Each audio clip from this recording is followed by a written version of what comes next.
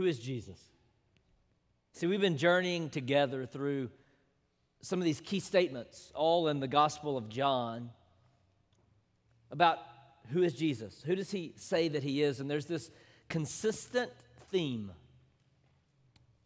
of Jesus' identity as he teaches to further unveil and reveal and declare who he is. You see, Jesus' goal is for people to grasp and believe that he truly is the Son of God, that he truly is the Savior and the Messiah that God promised thousands of years before. The problem was the people, especially the Jews, the, the religious people, God's people, had a hard time seeing beyond all of their religious traditions, all of their religious rituals and systems, their way of doing church, to see and experience the fresh new way of who Jesus is.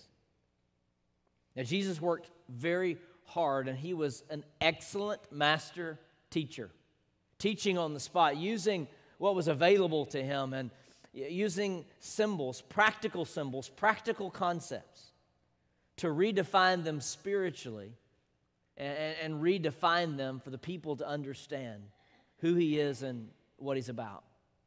So, who is Jesus? Jesus is the bread of life, Jesus is the light of the world. We've, we've seen those in the last couple of weeks. And today we're going to see that he is the gate, the gate for the sheep. So, after declaring himself the light of the world in John chapter 8, we looked at that last week. Uh, you, you move to John chapter 9 and you see Jesus practicing what he preaches, living it out. He comes across a blind man and he gives him sight, gives him light, and declares to him that, that he is the light. And as long as Jesus says, as long as I am the light, I'm going to continue to be what God's called me to be.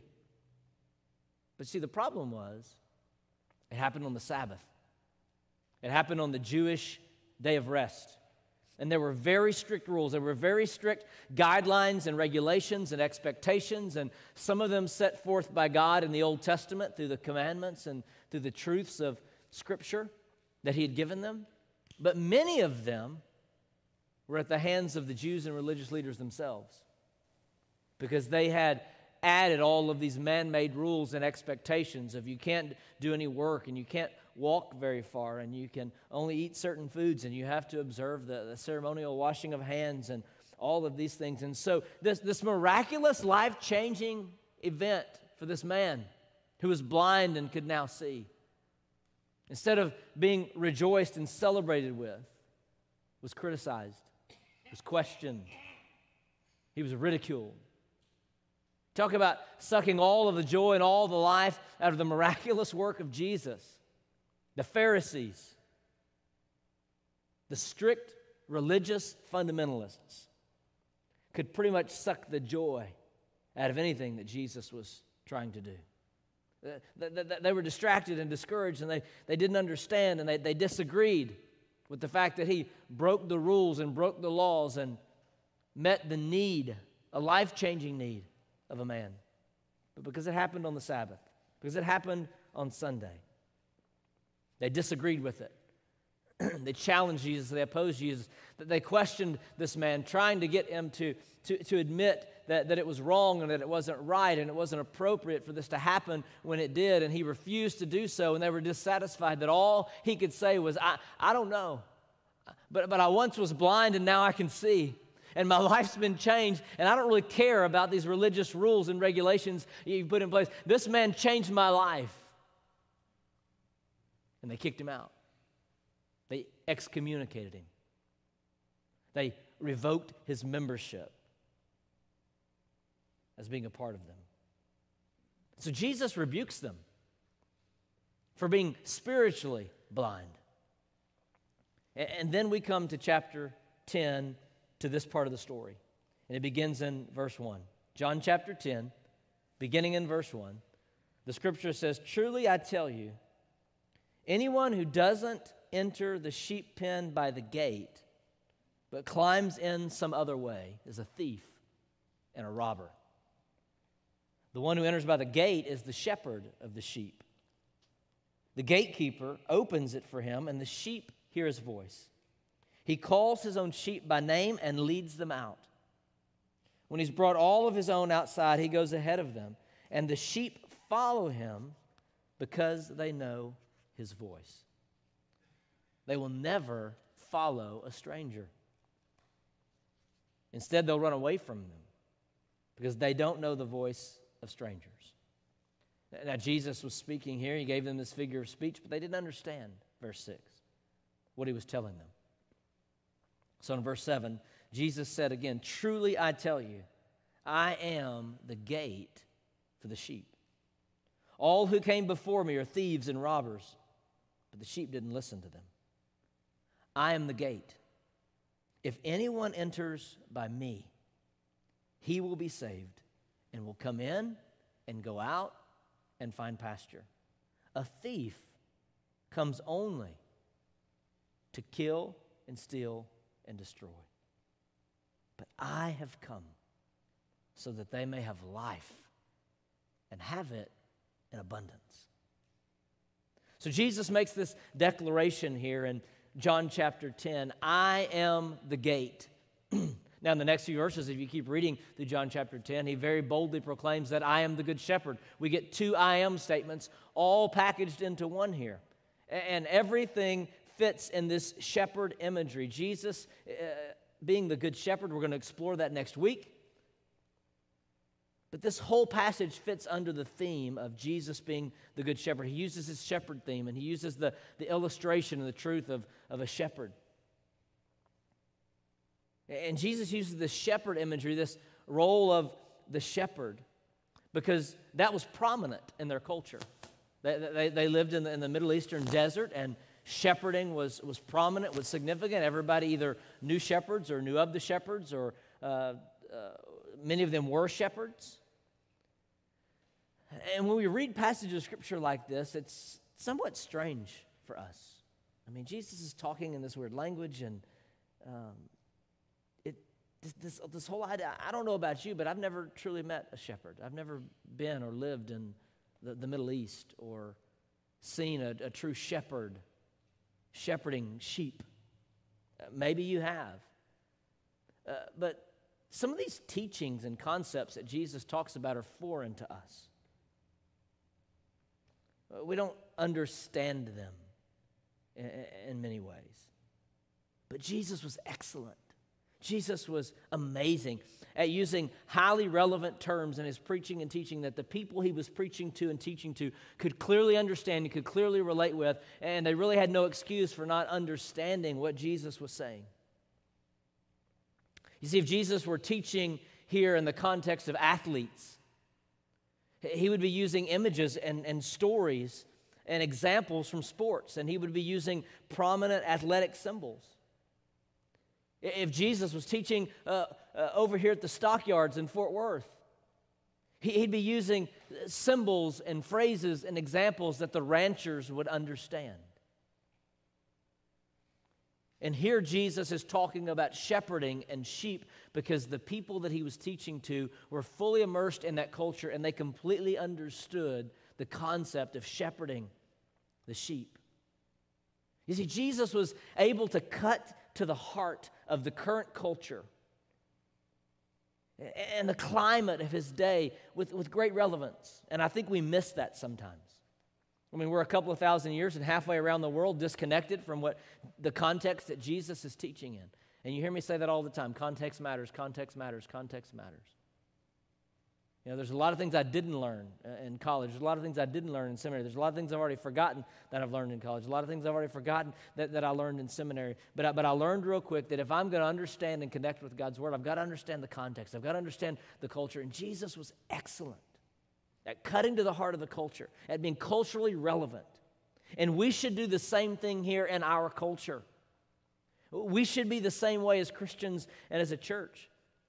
Understanding who we're trying to reach, who it is that God's given us to reach with the gospel, and seek to connect with them with relevance and with clarity. Jesus is, is teaching and preaching about shepherds because that was relevant and clear to the culture that he was teaching in. And as we seek to help people find and follow Jesus, we've got to be relevant to the culture. We've got to know who it is we're trying to reach, and we've got to be able to connect with them, and we've got to be able to understand them. We've got to be able to speak their language in the context of the gospel so that we can connect with them and impact them and see their lives changed as well. But the religious leaders, uh, the, the, the shepherds that Jesus talks about here, served to represent God. They served to, to demonstrate God's love for the people. They were the called leaders, the religious leaders were the ones who were set apart by God to take care of and care for the people, but they weren't caring for them very well. And many of the religious leaders were, were leading people away from God instead of to God. Instead of leading them to, to a fulfilling, significant relationship with Jesus, they were just leading them into empty rituals and routines and overbearing them with rules and regulations. They were weighed down and, and burdened by the legalism and the man made rules of the quote unquote church people in the first century. And this works based, judgmental approach was joyless, it, it, was unfulfilling, it, it didn't satisfy their souls, as we sang about a moment ago. You see, Jesus came to proclaim himself as God in the flesh, the promised one who would rescue us from sin, who would give us direct relationship with God. And he's doing everything he can to help the people get it.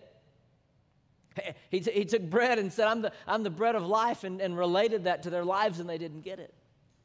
He said, I'm the light of the world, and in this uh, amazing light ceremony and this prominent theme that was a part of their culture. I mean, he was digging deep into the heart of the, the symbolism of their religious understanding and transforming it and redefining it, just hoping that they would find satisfaction in the person of Jesus. That the, the, the fountain of God's love and God's grace would pour over them in abundance and they would see and hear and know and understand, and the light bulb would go off. It would click. The puzzle pieces would go together, and that their lives could be changed by the power of the gospel, not by an empty religious system.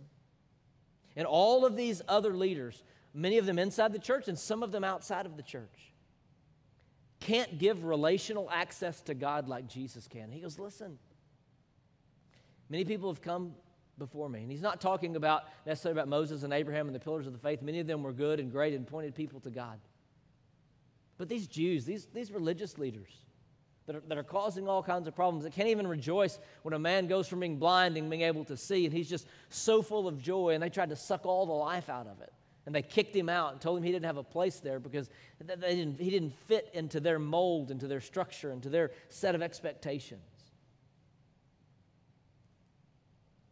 So Jesus expounds on all the ways that his role as the good shepherd supersedes all the other shepherds, all the other leaders. But in the midst of that, he says, I am the gate. I am the gate for the sheep. What does that mean? What point is Jesus trying to make with this statement? I am the gate for the sheep. What he's saying is that Jesus protects us from the destruction of sin, and Jesus provides us overcoming joy in this life. That's what he was trying to get them to see. That's what we need to see in our lives that Jesus protects us from the destruction of sin, and Jesus provides us overcoming joy in this life. Life's tough, life's hard, life's messy. But the joy of Jesus and the presence of Jesus and the provision of Jesus and the protection of Jesus can help us live with overcoming joy if we will put our faith in Him. No one, no thing can get you and I access to God, to, get, to God's protection, to God's provision apart from Jesus Christ. And Jesus came and He said, I am the gate. I am the gate of the sheep. Salvation is only through faith in Jesus Christ. And a satisfying life on earth is a life lived in faith for Jesus Christ.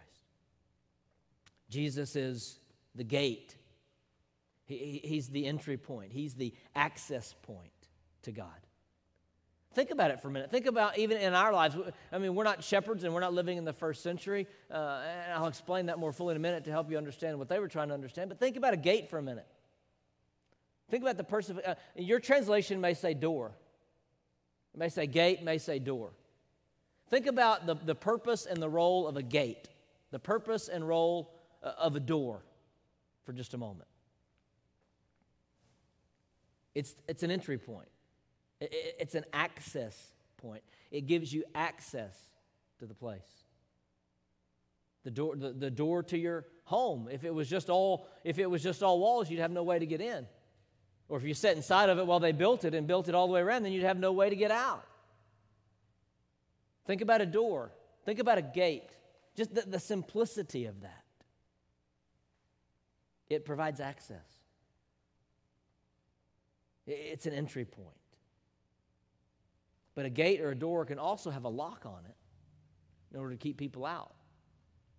So a gate can let people in, and a gate can be locked and keep people out.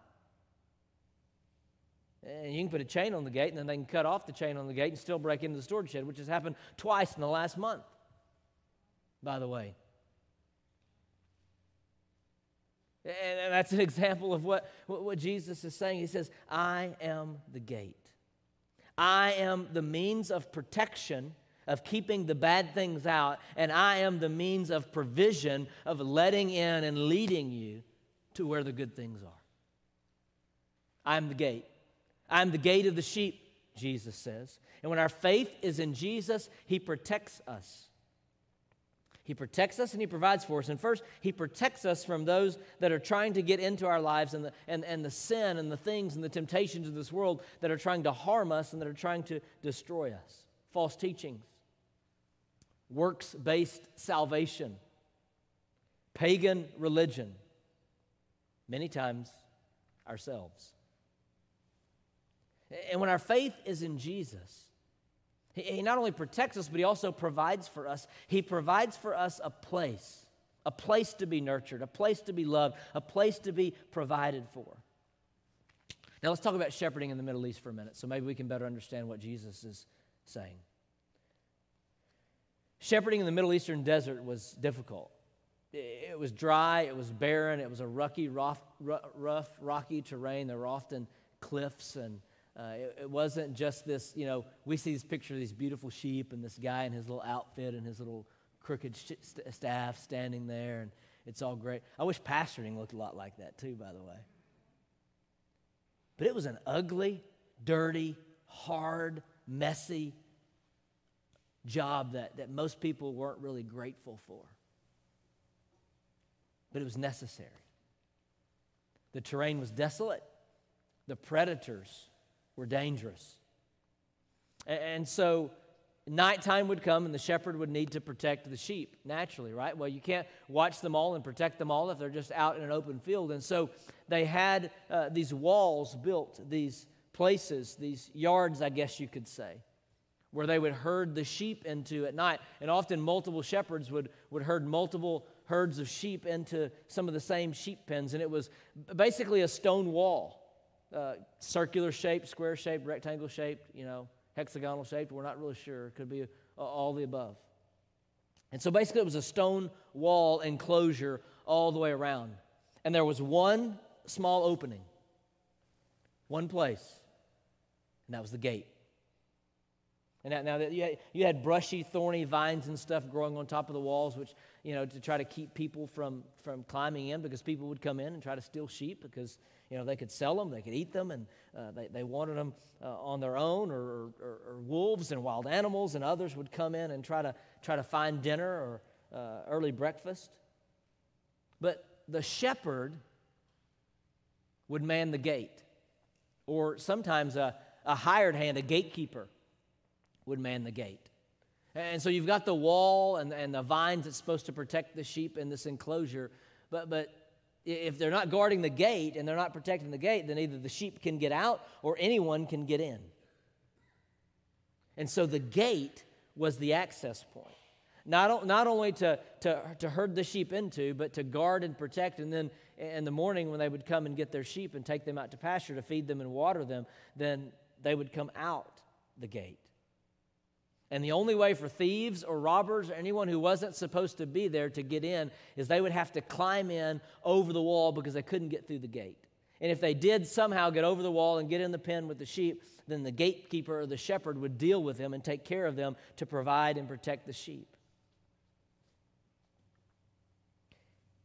And the only, the, the, only way the sheep would leave the enclosure is if their shepherd came in and guided them out and led them out. We're going to talk a lot more about, about, about shepherding, what Jesus is talking about there uh, next week. So I hope everybody's super excited to learn so much more about shepherding and, and sheep.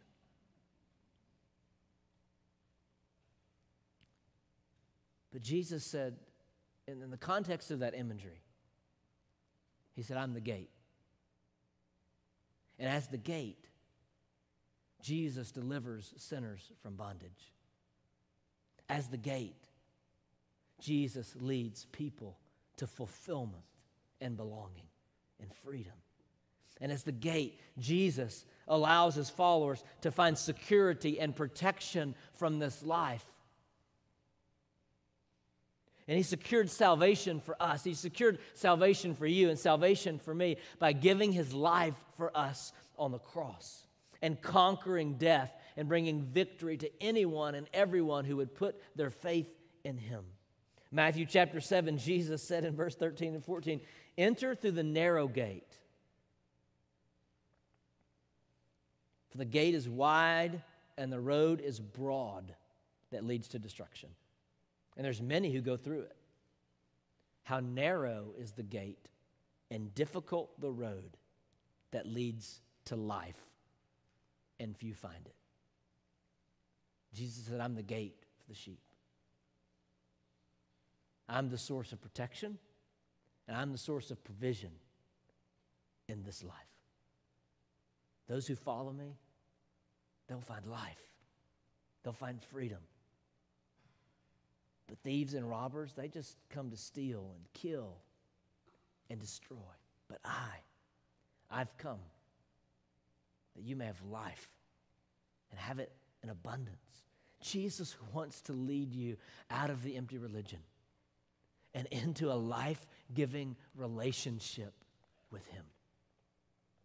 You don't have to worry about measuring up. You don't have to, to worry about being good enough or, or, or, following all the rules or meeting all of the expectations. He wants to give you and I freedom to live under the umbrella of His grace every day of our lives. And once we surrender to Him, once you surrender your life to Jesus, you'll find extravagance. You'll find abundant joy and satisfaction that this world can't provide. And you can seek to find fulfillment in many different avenues, but none of them are going to give you the protection and the provision that you're looking for. Religion, rule keeping, is just going to frustrate you, it's just going to discourage you because you're going to regularly fail to live up to the standards and the expectations. Recreation, pleasure are only going to temporarily satisfy. And it's not always sustainable. And I believe deep down. Even, even the strict fundamentalist Pharisees who were trying so hard to live by the rules and so hard to keep every rule and, and, and align their lives in just the right way so that they could find pleasure in God and God could find pleasure in them. Deep down, we're all looking to prosper in this life. We're all looking for peace in the next life. And Jesus is the gate. Jesus is the access point to all that we need and all that we desire. Satan is a thief. Satan is a robber. And he's going to do everything he can to convince you that anything and everything apart from Jesus in this world is going to satisfy you, is going to provide for you, is going to protect you, is going to help you, is going to fulfill you. Anything other than Jesus, Satan says, that's what you need. That's what you should pursue. That's what you should spend your time and your money and your effort and your reputation on. But don't fall for the disappointment of what Satan tries to offer. Jesus won't disappoint you. Jesus won't disappoint you. He'll welcome you into his flock. He'll protect you. He will lead for you. He will lead you and he'll provide what's best for you. He'll show you that it's so much more than rituals and rule following. He'll show you what it's like in an abundant relationship with Him. Psalm 23 The Lord is my shepherd. I have what I need. He lets me lie down in green pastures, He leads me beside quiet waters. He renews my life.